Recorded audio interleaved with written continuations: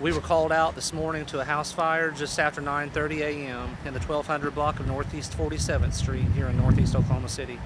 Uh, we were told upon dispatch that we possibly had two children still inside the home, and we were told that they would be in the southeast corner of the bedroom. So obviously, that's going to be our first priority when we arrive on scene is to try to get people out of the home when we arrived, I can tell you that the fire involvement was, was pretty significant at the front of the home, on the porch, and into the, to the front portion of the home. But firefighters again sent a crew into that southeast corner bedroom. Uh, unfortunately, the, the children were not discovered there. We, we did not find the children in that bedroom.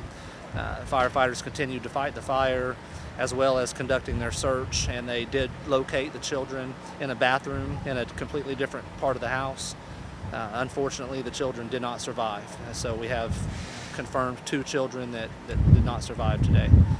Um, I can tell you that uh, firefighters are obviously having a difficult time with this. This is something that uh, we don't ever want to have to see. We, we spend a considerable amount of time with you know, fire prevention efforts, and, and we have you know, one of the finest fire response organizations in the country. And despite all those things, bad things sometimes still happens. So this is a, a very tough day for the, the children, obviously, and the family, and, and this really, this entire neighborhood.